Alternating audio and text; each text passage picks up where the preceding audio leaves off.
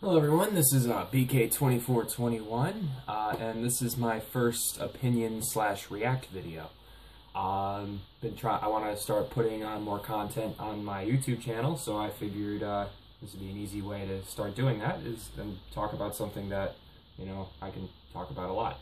So, um, I'm here today to talk about the uh, 2014 Buffalo Bill season. Uh, as you can see, and have, as you probably have known throughout the years of me putting up guitar covers and stuff like that, you've seen you know stuff on my walls in my room. I'm a huge Bills fan, and unfortunately, yesterday the Buffalo Bills let us all down yet again and uh, lost to the two and twelve Oakland Raiders. So. I'm here to give my reactions to that as well as the you know the season in general and what's to come.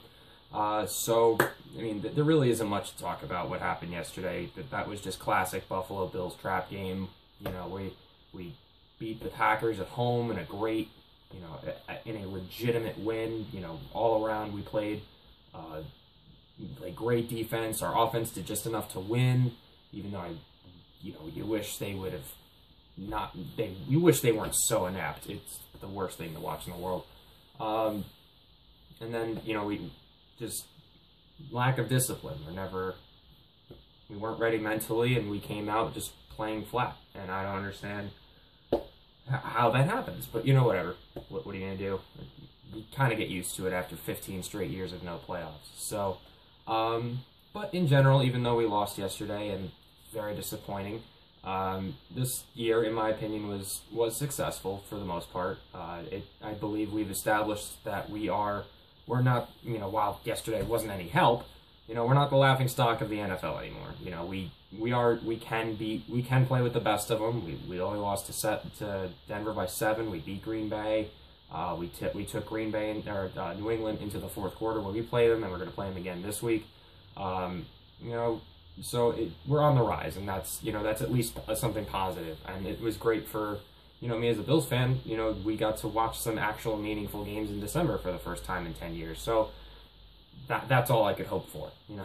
So um, moving forward, uh, the Bills, in, in my opinion, uh, this game we've got coming up against New England uh, should decide uh, Doug Marrone's future as the coach of the Buffalo Bills. Um, a lot of people will question why do you think, you know, if, if this is a successful season, why should his job be on the line? Well, if you look at it, the reason that the, that you know we're eight and seven and we're not winning is because of the offense. And Doug Marrone is an offensive-minded coach.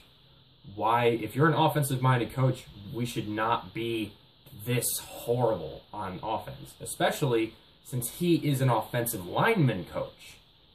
He, you know, he was an offensive lineman, and he, we have the worst offensive line in the in in the league. It's awful. It's hilarious how bad our offensive line is. And so to me, is if you can't get your guys mentally tough enough to be to like we have to take care of business against this two and twelve team, and then we go and face our you know the top, the class of the AFC. You, don't look past this game. Like you you had to win three straight games, and you're gonna discount the second one just because you did good in the first one. No, you've got he didn't he I don't feel he ever really mentally prepared our players very well.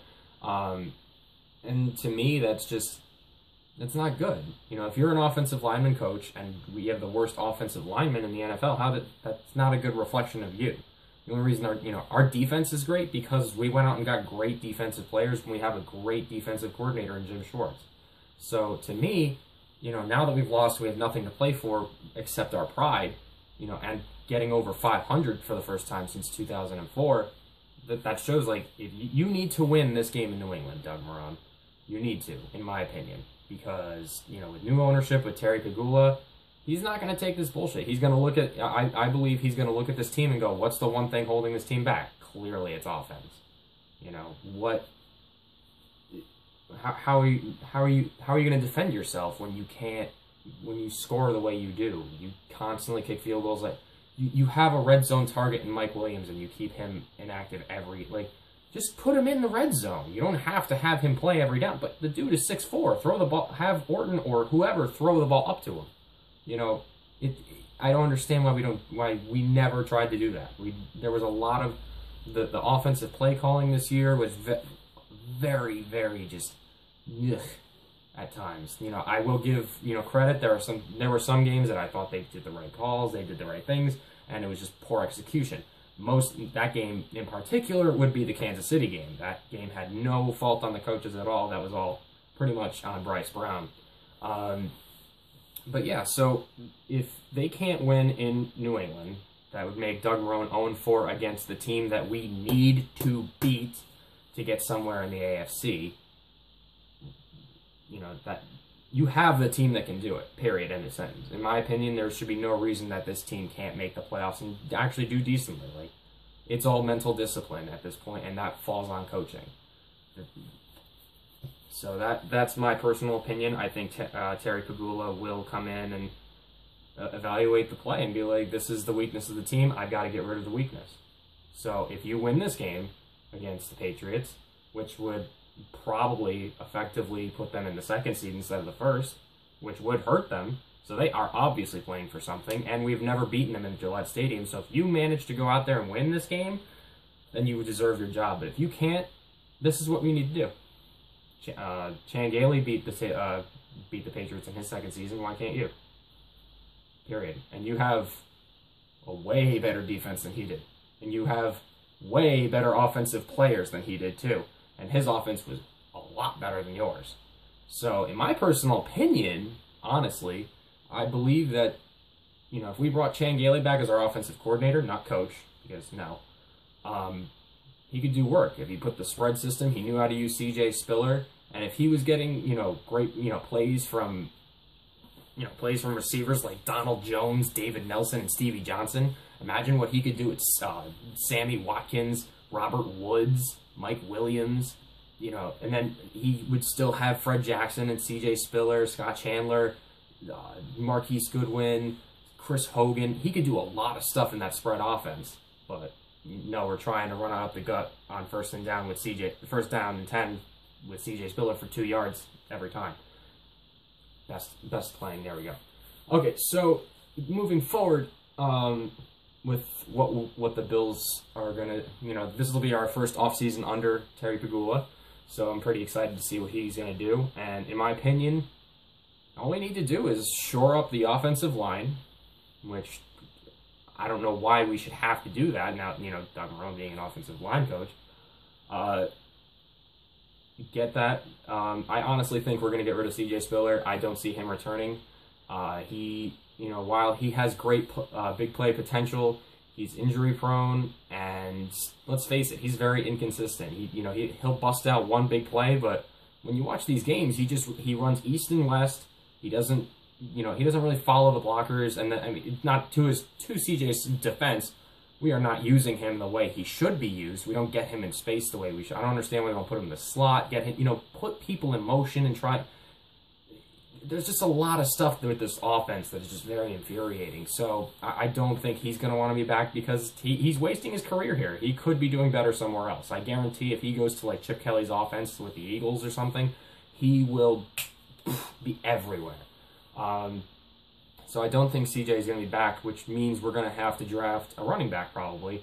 Which in in reality isn't the worst thing in the world. Uh, if we sh- if we get some nice free agent guards uh, we can use our th- uh, third round pick on a running back. I mean, uh, you look at it, running backs weren't taken until midway through the second la- the second round last year, and they and people got running backs like Jeremy Hill. Uh, who else was there? We got uh, you know we got Carlos Hyde went in the second round, and uh, no, that's not that's not a good example there. And Tre Mason. You know, those are three decent, you know, rookie running backs that came out this year, and they were all drafted mid, late, second round or later. So we can draft a running back in there. Um, what we really need is what will really make this offense a lot better is if we make if we get a playmaking tight end. You know, somebody. You know, I'm not expecting a Gronk or a Jimmy Graham, but somebody you know serviceable and consistent, like a Heath Miller or an Antonio Gates or something like that. If we get one of those, That'll instantly help our red zone. It'll give whoever our quarterback is a safety blanket. It'll make our offense a lot better. So that's what I think we need to.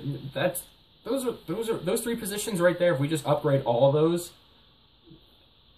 well, in, you know, the offensive line immediately will make an impact because that'll give EJ Manuel or Kyle Orton more time to deal, you know, to to look at the defense and make plays and give our, our receivers and whatnot more time to get open. So right there, that'll make our offense better. Um, and then, you know, give a running back bigger holes, a tight end safety you know, we're, in my opinion, we're only three pieces away from really, really making a difference.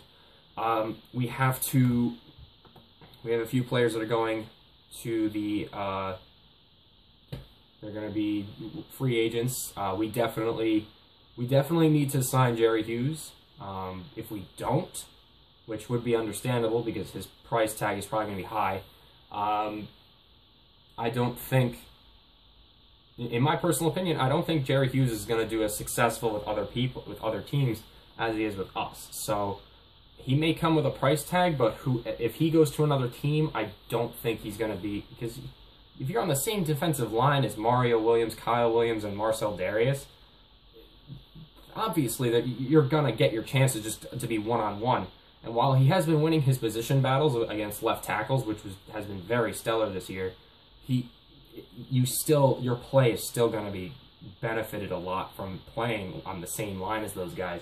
So I hope he recognizes that and you know he stays here.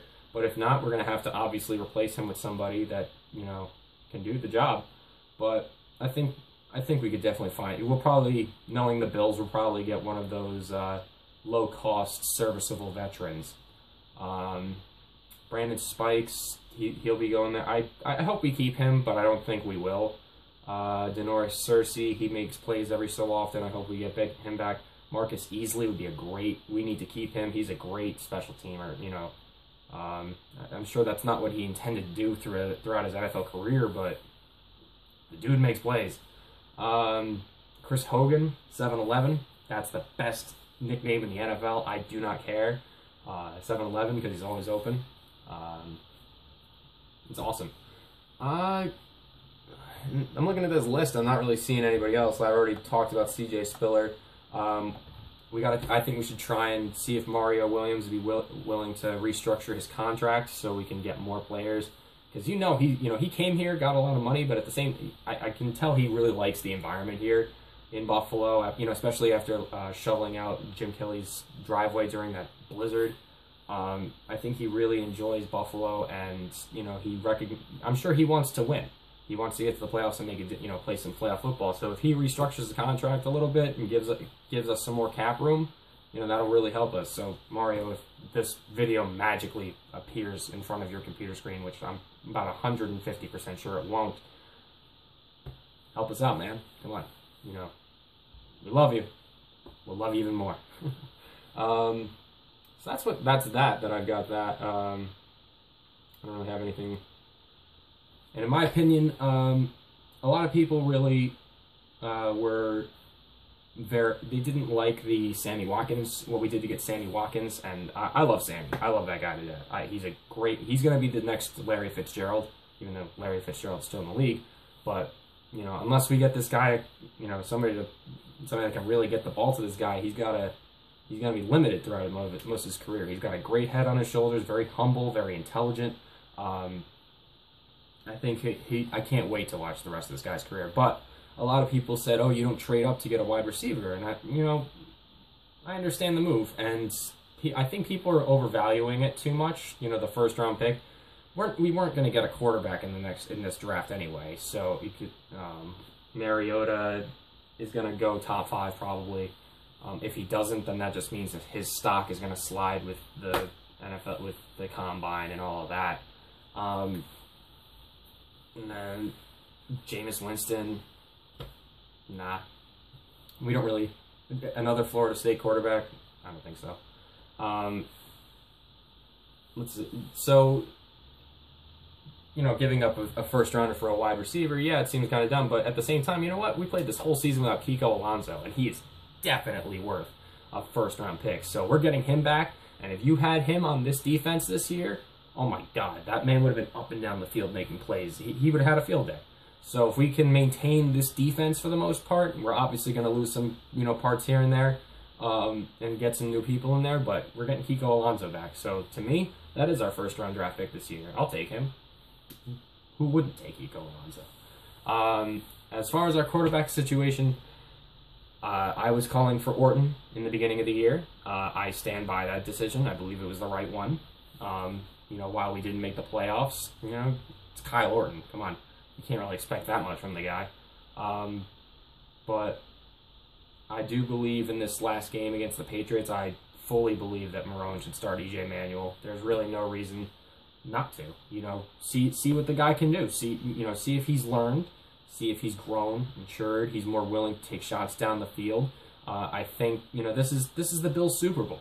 You know, we you know we're done with the season, and we've got the last game against the Patriots, the class of the AFC. So the class of the AFC East for the past fifteen goddamn years. So let's take you know, take a shot with EJ. See what he can do. He almost beat him in his first game ever. Why not try and have him win this one? Doug Marrone, in my opinion, your job should be on the line, so I think you should take this. I think you should definitely start EJ. Um, and then come next year, have bring in uh, probably draft a quarterback in the third round, third, fourth, third, fourth round, and then have those three guys battle out. Because I definitely do not want Jay Cutler. The, the only reason, the only way I want Jay Cutler in Buffalo is if he comes with a first round pick which is possible actually for because he's so overpriced. But no, I don't want Jay Cutler. Uh, RG three, he's he's never going to be the same RG three, and that's not his fault, and I feel bad for him. But he's never he's never going to be the same RG three as he was in his rookie year. Um, and there really isn't any anybody else other than that is just we're just going for mediocre. You got it. You want to try and find somebody that's gonna be here for the next ten years. He doesn't have to be the you know Peyton Manning, Tom Brady, Aaron Rodgers, etc. He doesn't have to be that good. But you know, if we could get a quarterback that is solid, and you know, you know Russell Wilson, Ben Roethlisberger, you know, somebody that just does their job, we'll be fine. That's all we need. Is somebody that just does their job at the quarterback position, and we will be fine. Um, that's all I really have to talk about. Uh, if you have any comments, uh, opinions that you'd like to leave, you know, comment, and we can talk. Um, subscribe to, I really like it if you subscribe. I'll be posting more videos. Um, not necessarily only about the Bills, obviously, especially since the season's over, so I don't really need to post any videos like this, but I will be posting more stuff about music and all sorts of other uh, stuff, and obviously more guitar covers and all sorts of stuff. Um, yeah, I think that's it. So, go Bills.